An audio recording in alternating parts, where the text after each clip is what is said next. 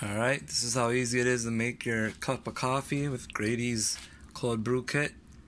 I have it right here in my refrigerator. I have my cup prepared with ice. Just gonna squeeze it in.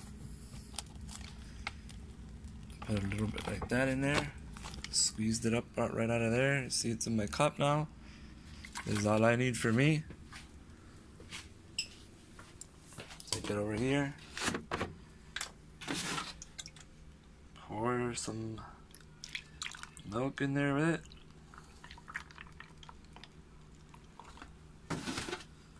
Nice and icy. There you got it. Gotta mix this up a little. I'm doing it holding the camera, so it's gonna take me a few seconds. I just mix it up like that. And it's all ready to go.